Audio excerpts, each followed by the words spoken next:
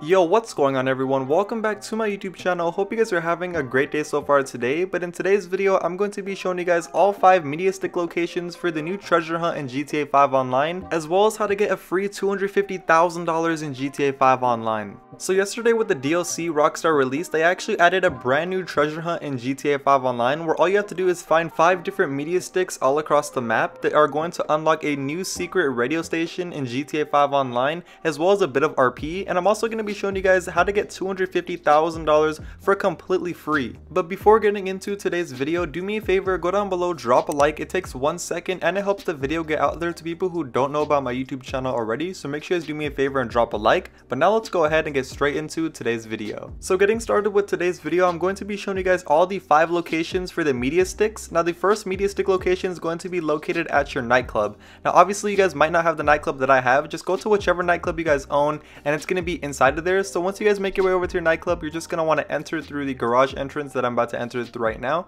So just come over here to this garage entrance, enter, and then click the top option where it says enter your nightclub.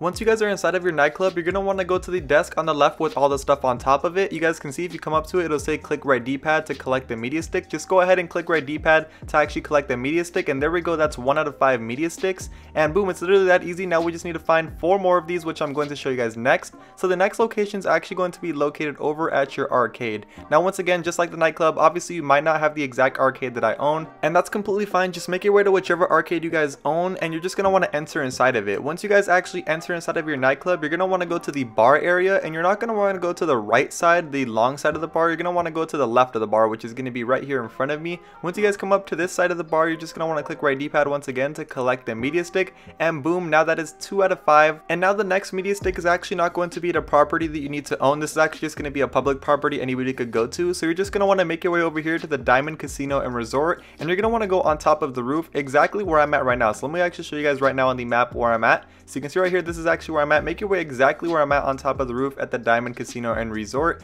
And you're going to want to come to the left of these bungalows. The second bungalow to the left over here, you'll see that there's going to be a media stick on top of there. You might hear a little like sound. Just come up to it and you're just going to want to click right on the D-pad to collect the media stick. Boom, that is 3 out of 5 media sticks now. Now we're going to go to the fourth media stick, which is also going to be at a public area. This is not like an actual place you need to own like a nightclub or arcade. You're want to come to the new location, the LS Car Meet location. If you guys do not know where it's at, I'm going to show you guys right here on the map right here in a second, just in case you guys do not know. You can see right here, this is where it's going to be located, the LS Car Meet location, the brand new location that came out with the DLC, so most of you guys should already know about it. But yeah, make your way over here to the LS Car Meet spot, and you're just going to want to enter the garage inside of here. Once you guys enter the garage inside of here, you're want to make your way over to where the custom mod shop is inside of here. You can see here is the custom mod shop. You can see the mechanic. You're just going to want to walk up to where the mechanic is actually at, right here next to his toolbox. Now go up to his toolbox, you'll see this is the actual media stick. Just click right D-pad to collect it, and boom, that is now 4 out of 5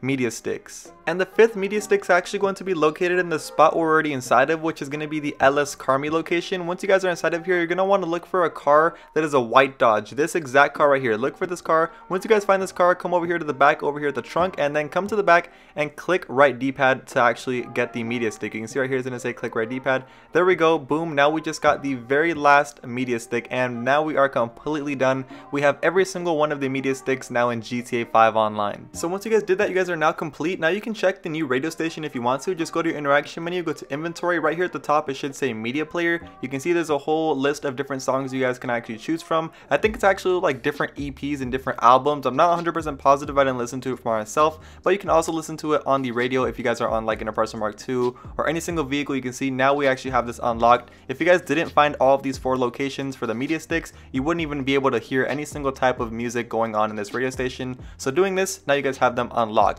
But now let's go into the next thing in GTA 5 Online, which is going to be how to actually get $250,000 for completely free in GTA 5 Online.